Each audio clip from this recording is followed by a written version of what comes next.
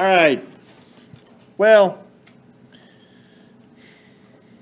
same thing on this one is we got that binomial that's being squared. It's added to something and it equals zero.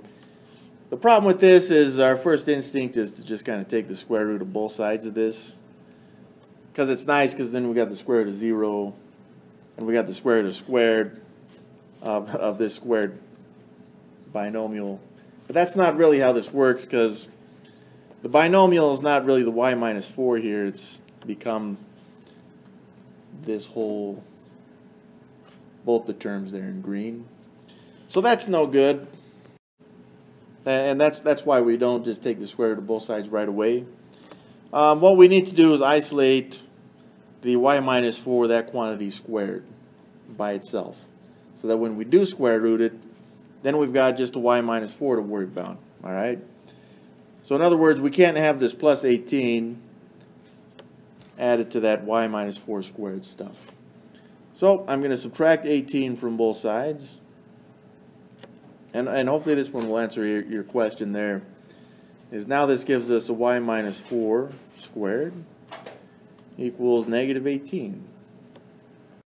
See now at this point, if I if I square root both sides, which is what I'm doing,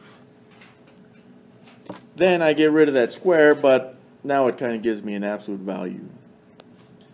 And it's going to equal uh, the square root of negative 18. But I'm going to change that real quick. Uh, that, that's a 4 to uh, i times the square root of 18. And we'll simplify the square root of 18 later because we can. Now that I have that absolute value, I'm going to break this up into two separate equations. So I've got y minus 4 equals i times the square root of 18. But y minus 4, on the other hand, equals negative i times the square root of 18. okay, well, at this point, and this works for both equations, by the way, I'm just going to add 4 to both of these equations on both sides of the on both sides of both equations. So right here I would have y equals, I'm going to make this 4, and that was a positive i times the square root of 18. And over here I've got y equals, that's a 4 minus i times the square root of 18. Hmm. so unfortunately for us, since this is not finished, and this, this is why it's not finished, is we kind of got to look back at our square root, roots, radicals, simplifying those, factoring them, however you want to say it. Um, the square root of 18, let's, let's take a look at that. Because if I can find a pair of numbers that are being multiplied into there, or a perfect square as a factor, then uh, I can take the square root of that. And specifically, I'm looking at 9 times 2 so in other words, this is the square root of 9 times the square root of 2. The square root of 9 is a perfect square. It's 3 squared. So the square root of 18 is really, if we were to simplify it completely, 3 times the square root of 2. So now I've got 3i times the square root of 2 for both of these. And then I've still got the 4 plus 3i times the square root of 2 and then 4 minus 3i times the square root of 2. Those are my two y values. That would make that original equation a true statement.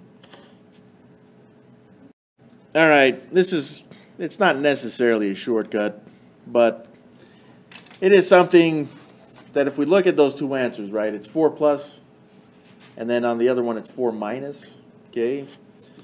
So when we got to this point there in red. Let me rewrite that. Let me rewrite that. Now this is just the rule, so if it doesn't help you out, ignore it, okay?